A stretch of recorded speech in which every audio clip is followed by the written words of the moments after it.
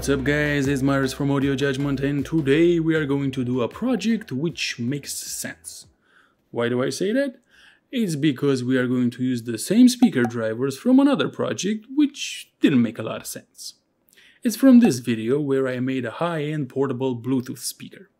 Problem was that it wasn't that portable, I think it had like 7-8 kilograms and the sound quality could have been better as there are too many electronical components, 2 amps in a DSP, and it was very difficult to separate the signal wires from the power wires in such a tight space, and therefore the noise floor was above average. To be completely honest with you, the reasoning behind that video was to make a clickbaity thumbnail coupled with good video content and try to make a semi-viral video. While I did prepare myself mentally for my future YouTube celebrity status, it didn't really work out as I planned. So, I salvaged all the components from that speaker and used them to create a pair of bookshelf speakers. Now, before I start playing the building process with some upbeat music on the background, I want to quickly explain what I did and what you should look after. First of all, let's talk about the speakers themselves. The goal was to make a high-end bookshelf speaker with the smallest footprint possible. These Morel speakers are awesome for this. The bass driver has a low QTS, which means it's well suited for bass reflex, and also the volume uh, requirements are low, resulting in a small box. However, the smaller the enclosure, the longer the port needs to be, and no chance in fitting that pipe inside the box. Solution to this problem? Passive radiator. Got this massive passive radiator from SB Acoustics and you can see that it barely fits on the back panel. So the box cannot get any smaller than this. Since this is a tight fit, even for the binding post I struggle to find an adequate space. To keep the size down, I used 10mm thick MDF but larger 18mm for the front baffle and back panel. The crossover is assembled directly on the bottom board, that's why when I start the building video, it will start directly with the crossover assembly. Regarding the finished, I used some zebra wood veneer. I'm usually good with applying veneer, but only if the edges are squared. This is the first time I applied veneer to a chamfered edge. Since this has a small baffle, you need to reduce the edge diffraction effect by rounding the edges. Since applying veneer to a rounded edge seemed impossible to me, I tried to do it on a chamfered edge. While this is no problem on the side edges, as it's along the grain of the veneer and it bends without any fuss, you can't do it on the top edge as it bends against the grain and it will crack the veneer. For the top and bottom edge, I just use a separate veneer strip. While this does work, the separation is obvious and it doesn't look that nice. If you guys know the correct uh, solution to apply veneer in this case, please let me know in the comments. Also regarding the veneer type itself, Zebrano, how it's called, I pretty much hate it. For the most part, it's just like any other veneer except when you get to the dark stripes which are very stringy. So you have to be really gentle with this under 1mm sheet of wood when you cut it, except it's super strong when you get to the dark lines. So good luck with that. As always, you will find in the description a detailed guide on how to build these things, with all of the components and crossover design. Right now, I'm going to show you the building process and at the end, we're going to look at the frequency response. Have fun watching.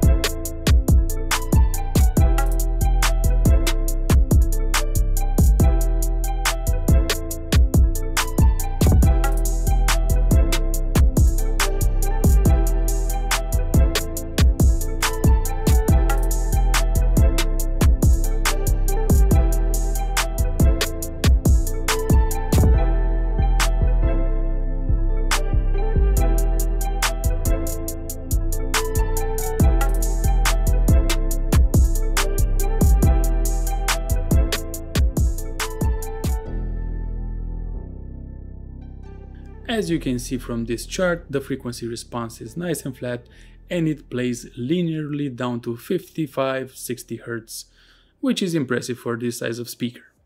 Slight bump at around 800-900 Hz, which is most likely due to the small baffle size, and another in the very high frequencies, which I don't really care about because no one hears that high anyway. The crossover design is super simple just a two-way crossover with an attenuation L pad on the tweeter. Now I know that you want some recordings with these speakers and I'm not going to do that. Instead, I'm just going to show you some clips with the woofers flexing. Having the experience from last time with the floor standing speakers, my microphone has an unnatural recording when it comes to speakers. I don't know why, so no point in doing that. That's it for today, thanks for staying with me till the end. Don't forget to like the video if you liked it, subscribe to the channel if you haven't already, and I'll see you next time. Peace!